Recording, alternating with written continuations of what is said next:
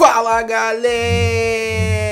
Começando mais um vídeo aqui pro canal Invictus e no vídeo de hoje a gente vai promover a estreia dessa fera. Karim Benzema geral 115 chegou à nossa conta principal no último episódio aqui, né? Que é essa thumb que vocês estão vendo na tela, só que naquele episódio eu não promovi a estreia do jogador. Nesse episódio também, manos, como vocês estão vendo lá em cima, eu vou mostrar pra vocês como eu peguei aí 10 mil joias de graça, né, rapaziada? E além disso, vamos fazer algumas movimentações aí em busca do Luiz Figo. Mas antes de falar de qualquer assunto, eu peço a vocês que deixem o like aqui no vídeo, que se inscreva no canal e ative as notificações. Inclusive, rapaziada, para quem não viu, saiu aí nas últimas horas a review de dois zagueiros, tá, rapaziada? Sérgio Ramos e Davi Alaba. Duas lendas de contrato aí, jogadores inclusive que estão bem legais, mas tem pontos que vocês devem ter atenção. Então eu peço a você que veja essa review para depois não ficar aí chateado porque pegou uma carta que talvez não rendeu como você imaginava, beleza? Então eu peço a vocês também para poder usar o timer do vídeo para ir direto para a parte que você deseja e para me seguir no Twitter para informações complementares. E além disso, eu mando salves, né, rapaziada? Os salves aí da comunidade do canal. Um salve aí pro Leal, pro William Alves, pro Eduardo Garcia, pro Marcos Vinícius, pro Guru FIFA Club, que é um canal aí de YouTube. Eu vou deixar o link aí no primeiro comentário fixado. Pro Senhor Prinzin Underline X1, pro Guilherme Rezende, pro Nicolo Barella, pro EVX, pro Storm, pro Brooklyn, pro Diego Bittencourt e pro Pedro Henrico. E as 10 mil joias eu consegui assim que eu alcancei a classificação VIP 13. Como vocês estão vendo na tela, todo mundo que atingir aí a pontuação VIP de 200 mil pontos, né? Que você ali pega todos os dias um pouquinho cumprindo as missões diárias, vai pegar essa quantidade de joias inteiramente grátis. E essa vai ajudar a gente no caminho aí em busca do Luiz Figo, que a princípio aí, rapaziada, eu tô muito feliz que ele vai chegar nessa conta. E isso vai ser possível, meus amigos, graças ao passe do Festival das Luzes, que parecia até que eu tava adivinhando quanto custaria, né, meus manos? Eu comprei dois passes estrelas aí, né? Meio que comprei, vou comprar o Luiz Figo meio que parcelado aí, na condição aí de pobre, entre aspas, né? Porque a princípio aqui eu já falo com vocês sempre que eu não tenho o hábito de gastar dinheiro aqui no canal, né? Mas em algumas situações eu acho que vale a pena para criar conteúdos para vocês. E além disso, dessa vez, manos, a gente vai sair com o Icon Prime aí bem barato, tá, meus amigos? Mas aqui no passe, manos, ele vai custar aqui pra gente 2 mil FIFA Points, que é a quantidade de FIFA Points que eu tenho aí provenientes dos passes estrela, e a gente vai comprar aqui esse passe. Conseguimos aí desbloquear o passe do Festival das Luzes, ganhamos aí inclusive pontuação de luzes aí extras, né? Vamos avançar mais uma casinha aí e ao longo dos dias, meus manos, eu vou recolhendo aqui as recompensas. E uma coisa que vale ressaltar aqui, manos, eu tenho a opção de me adiantar no passe, tá? Mas isso é uma coisa que a gente não vai fazer porque eu acredito que as joias possam render de uma maneira muito mais interessante aqui para essa conta. E isso a gente vai ver agora. A primeira coisa que eu vou mostrar para vocês, para vocês terem noção aí, mais ou menos, dos custos, são as duas ofertas aqui que tem na loja de pontos de grandes transferências. A primeira delas é por 2.500 joias ou 1.000 FIFA Points, você vai ganhar 500 pontos de grandes transferências, ou por 25 mil joias ou 10 mil FIFA Points, que você vai ganhar 5 mil pontos de grandes transferências. Mas para quem viu o episódio anterior, sabe que eu abri aqui as ofertas do Benzema, né, rapaziada? E por 2 mil FIFA Points ou 5 mil joias, você tem a chance aí de conseguir o Karim Benzema e automaticamente garantir 4 mil pontos de grandes transferências. Em vista de comparação com aquelas duas ofertas, essa aqui é muito mais lucrativa. Então a gente vai abrir essa oferta aqui agora pra gente aí possivelmente tentar um Benzema e pegar garantido os pontos de grandes transferências. As chances do Benzema, manos, são de 5%, né? Mais ou menos aí 5, 4.9%. Vamos abrir aqui o pacote para pegar esses pontos de grandes transferências e ver se a EAzinha faz essa boa pra gente. Vamos lá? Sorte lançada aí? Veio só os pontos de grandes transferências, mas mesmo assim, manos, a gente já saiu bastante aí no lucro.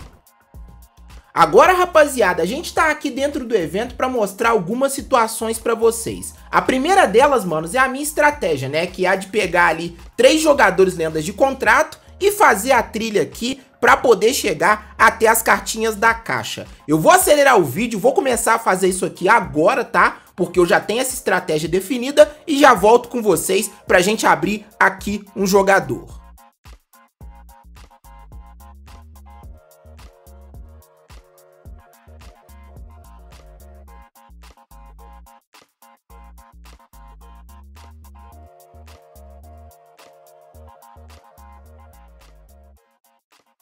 Nesse episódio aqui vai dar pra gente abrir duas vezes. Vamos abrir aqui a primeira para ver o que que vem. Vai vir 200 contratos garantidos, a gente já sabe disso. E o jogador veio 103, Mustafi, do Levante.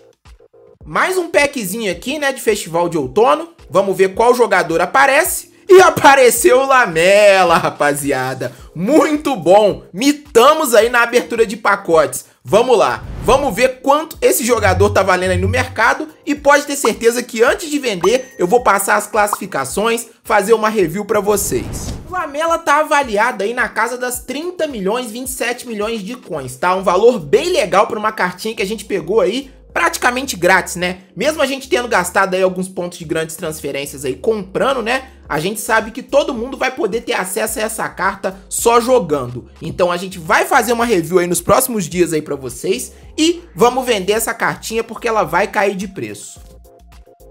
E sobre a minha equipe, ela ainda se mantém no geral 184. Eu, a princípio, estou esperando os Ultimates saírem para ter uma visão mais amplificada aí do evento principalmente no que tange a mercado e preço, tá? Porque eu acredito que muita coisa vai cair de preço quando os Ultimates chegarem. E é isso, manos. Agora a gente vai promover aqui a troca entre o Luizito Soares e o Karim Benzema, que hoje vai fazer a estreia aí na nossa equipe.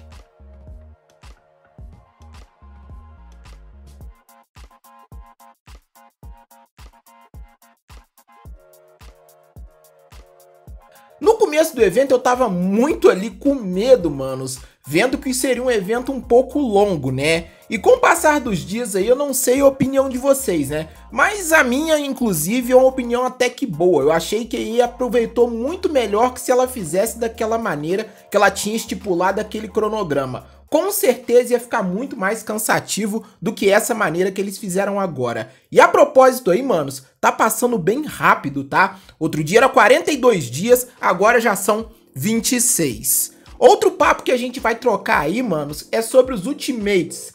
Não sei se vocês estão sabendo aí, os Ultimates devem ser lançados na próxima semana, manos. A EA tá cogitando colocar pelo menos ali os jogadores pra gente visualizar antes de desbloquear. Eu não sei o dia ao certo que ela vai fazer isso, mas provavelmente isso pode acontecer ali na próxima quinta-feira, junto com o evento ali dos mortos. Outro assunto importante, manos, é o Benzema, né? Que ele entrou na nossa equipe aí hoje e fez sua estreia. É um jogador muito versátil. Eu me adapto muito, manos, à questão de jogar com um centroavante ali de referência. E o Benzema, apesar de não ser um dos jogadores mais rápidos, eu consigo tecnicamente trabalhar com ele muito bem. Por isso que eu fiz a questão de trazer ele de volta para a equipe. Quando eu vi ele ali no evento, que ia vir ali no evento dos monstros, eu já sabia que eu iria querer essa cartinha. Independente de ter Agüero, de ter Depay ou outros jogadores. No vídeo aí, vocês vão ver muitas jogadas aí participativas. Inclusive agora sai o gol dele aí de cabeça,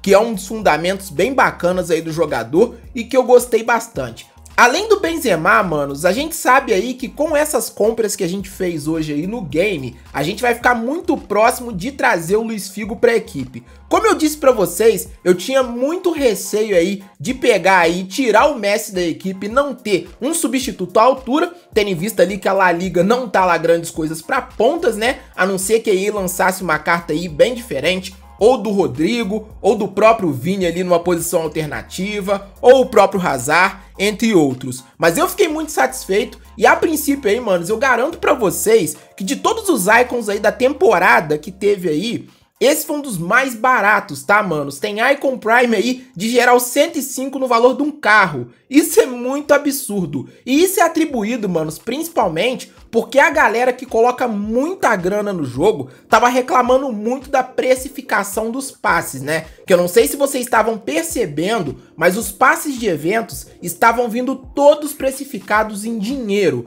Logo, quem pega FIFA Points aí tava sendo muito prejudicado. E é aquela coisa, né? Quando alguém que coloca dinheiro em algo reclama, necessariamente aquilo muda. E isso foi, acho que, uma coisa meio que aí para fazer uma média com os players aí. E o último assunto que eu selecionei aí, rapaziada, é o canal. O canal, a princípio, manos, tem várias séries aí que estão em abertos. Eu tenho plena consciência disso. Eu fico até tranquilo aí de ter conteúdos aí para poder trazer para vocês, mas eu peço paciência para você, principalmente que tá esperando trade ou coisa do tipo. A gente tá vivendo um período no jogo aí, rapaziada, que tudo tá muito barato. Muito porque, manos, é uma balança de equilíbrio. O que que acontece? Não se sustenta um mercado que lança muita carta com geral alto e para todo mundo. Isso automaticamente mexe diretamente com a movimentação do mercado. E mesmo que saia ali, tem alguns bugs de prata, igual eu vejo muitos criadores trazendo conteúdo sobre isso, não tá sendo uma constante de sempre, né? Ele dá ali uma aumentada no fluxo num dia durante a semana, no outro vende bastante e logo em seguida aquele ritmo diminui. E isso, manos, é uma coisa aí que faz com que eu fique um pé atrás para trazer trade, né? Eu sou um cara, manos, que por mais aí que eu gaste dinheiro para fazer review, eu não esquento a cabeça, inclusive eu vivo perdendo dinheiro em review, perdi mais de 40 milhões aí nesses últimos tempos, mas é uma coisa que eu não ligo, partindo do ponto que eu perca o meu dinheiro, não o dinheiro suado de vocês, beleza? Então é isso, rapaziada. Acabou a partida aí, esse foi o vídeo, eu espero que tenham gostado. Eu vou tentar trazer outros episódios da conta principal. Um salve aí pro nosso mano Aldo e um salve pra Liga Palmeiras aí também. E é nóis, manos.